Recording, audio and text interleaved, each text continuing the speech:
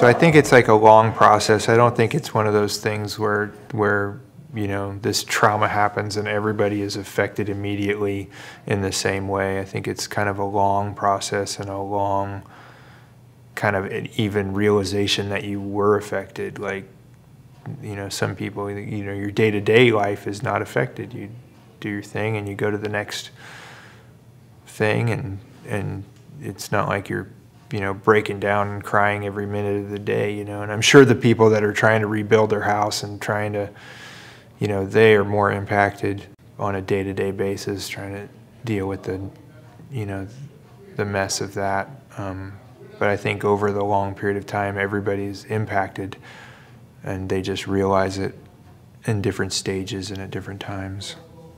I am learning more and more about the, um, we're experiencing so much trauma, and especially the Latino community that has the dual um, trauma of uh, immigration and the DACA students, and and then dealing with the firestorm and the and losing their jobs and losing their homes, and and just I feel like I, I need to stay connected. I cannot leave. And this is part of the solution that I see that needs to happen here in Sonoma County.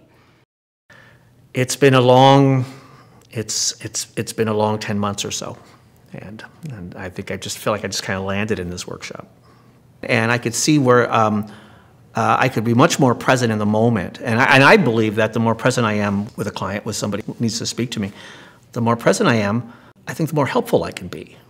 And I think the more helpful I am for them, well, really, the more helpful I am for myself. And that was a very powerful moment in this workshop, the mindfulness in the moment. You know, I had I had suspected this might be true, but but I actually saw you know some evidence-based information that that actually um, you know hope can grow out of trauma. Uh, for me personally, I'm trained as a scientist. I'm a plant pathologist by training, so scientific data is always, in fact, that may be one of my downsides. I, I'm kind of often more in my head than my heart. Um, and so, um, kind of being able to see both sides of that, both the data, but also the heart, um, was, was really um, energizing for me.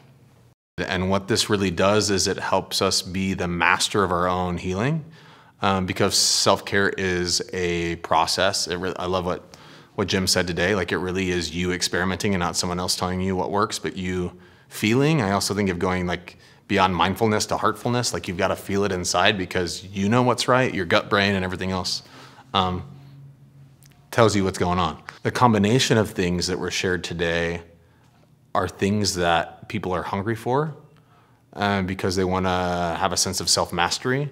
They want to be the, you know, the king or queen of their own castle, but ultimately like feel like they they can regulate. Um, and I don't think a lot of people feel that way. And so breath and movement, uh, we know is a way to directly tap into that and kind of rejigger the human computer. Knowing that we can't talk our way through trauma, sometimes we have to use image and movement and visual art to get there.